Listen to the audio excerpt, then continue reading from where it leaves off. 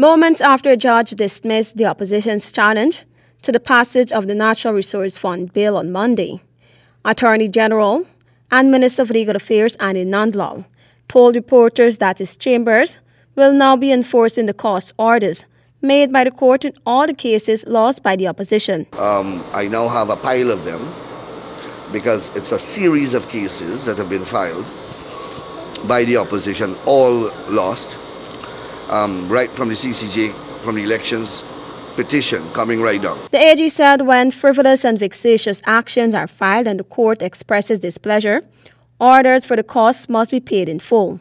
He highlighted that his chambers can go after the claimant's movable and immovable assets. If that option does not work, there are other steps that can be taken according to him. You can go to imprison them if you can establish that they have the means to pay and they are deliberately not paying. I think that that can be established. These are, are salaried employees. And the, another process that comes to mind is that you can go to their for example, their employers. Nandlall claims that he has written letters of demand to the opposition, which were all ignored. Meanwhile, attorney at law Roysdale Forde, senior counsel, in a telephone interview with this newscast, stated that the majority of the matters are being appealed.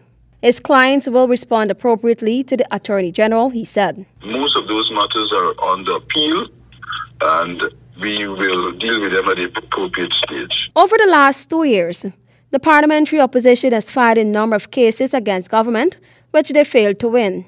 Court costs were awarded in each case.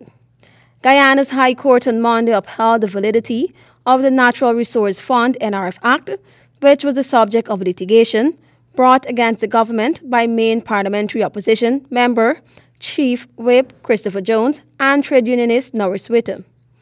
In December 2021, Opposition MPs dislodged the parliamentary mace from its position at the desk of the clerks of the National Assembly and protested in an attempt to prevent the National Resource Fund bill from being passed. They then claimed that due to the absence of the ceremonial mace, the passage of the bill could not be deemed lawful.